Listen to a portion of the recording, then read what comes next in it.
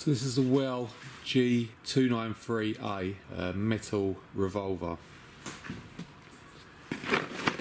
On the side it says it's 390 feet per second, holds six rounds, weight 1.4 kilo, and it uses CO2.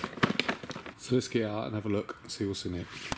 So in the box you get these instructions, pack of a couple of hundred BBs. So the whole pistol is made out of metal apart from these plastic grips where the um, CO2 goes inside that, that part.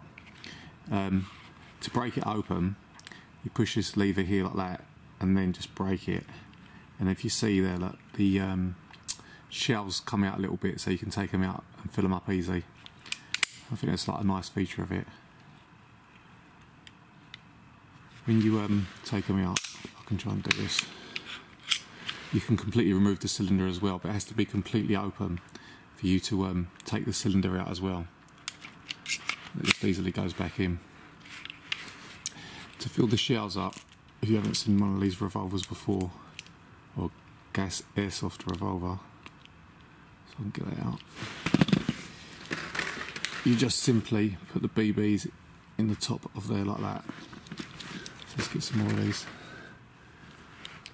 it's hard for me to hold with the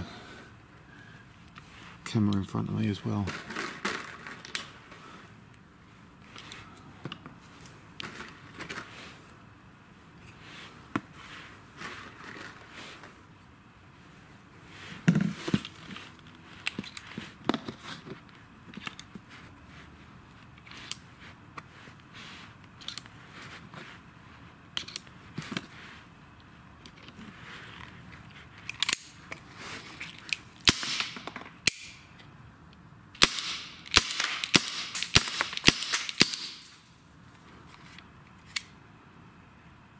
To put CO2 in the uh, pistol, all you do is just lift this side grip up and put it in like that, and then you just screw this until it pierces the uh, the CO2, and you're ready to go.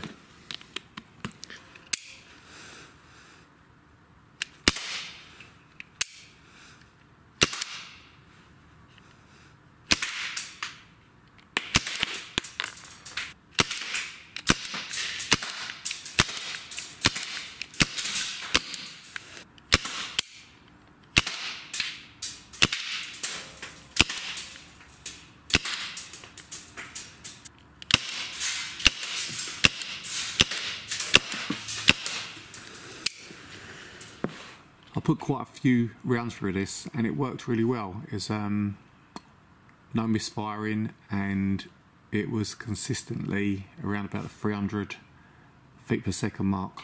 The gun comes in two-tone blue so you don't need any UKARA to buy it or anything like that. So yeah, it's really well, well made and it's a great gun really. Uh, so if you want a kind of Webley break barrel pistol, this could be for you.